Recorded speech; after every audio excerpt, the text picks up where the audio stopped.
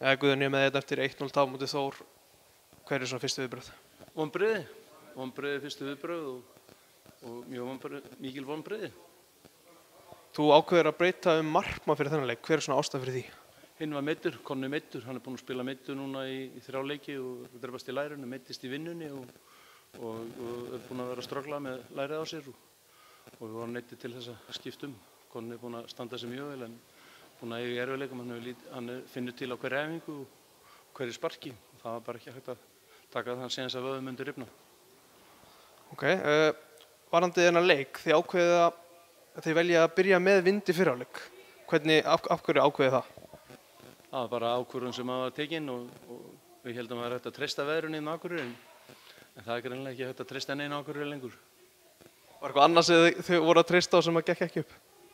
Nei, við náttúrulega bara treystum á sangjarna domgæsluðun en við treystum á það en við fengum hana svo sannarlega ekki. Við hvað varstu ósáttur í dóngjastlunni í dag? Bara til dæmis marki, boltinn er á ferð þegar hann tekur aukarspinnuna, kólólulegt mark og líka meðferðin á Gonsa í byrjins leiks. Hann er tekið niður skipti eftir skipti, hann er tekið gróflega niður í þrjú skipti fyrirháleik og það er engin refsing við því. Þegar þú tekur mann niður með ásetning þá að bera að refsa því með gullu spjaldi. Setna gullu spjaldi hefði átt að koma í fyrirháleik. Maðurinn sem bara trísar á Gonsa í fyrirháleik, hann fekk einu sinni tiltal. Og domgjæsla með þessum hætti, hún getur ekki verið eðlileg. Þórsar fá ekki einu svona eitt guldspjald ósáttu við það?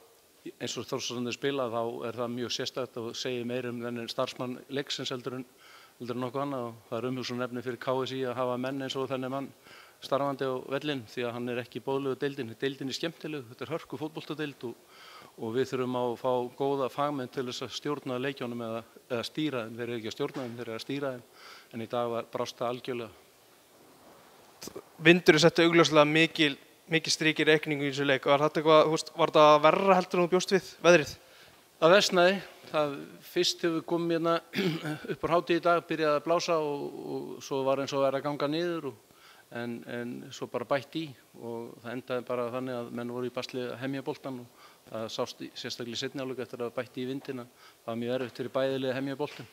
Þeir fengu mark sem að gera þeim kleift að sitja og býða og og gæta að því að gera ekki neina mistök því að þeir sá að það var mjög erfitt með uppspilið upp í gegnum mjög sterkan vind.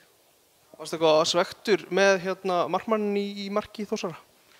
Ég sé þetta ekki alveg nógu vel, það er svo mikil kös, ég sé ekki hvar boltin skoppar en, en svona fyrstu viðbröð eru þau að hann er að taka þetta. En fyrstu viðbröð við aukarspilinu þau að dómarinn á ekki að láta rúlandi bolta að fara á stað. Hann á að, hann á að sjá til þess að þessi reglunum sé fyllt en hann gerði það ekki þessu tilvilli. Ósangjart að Ólsarar hafi tapað í dag?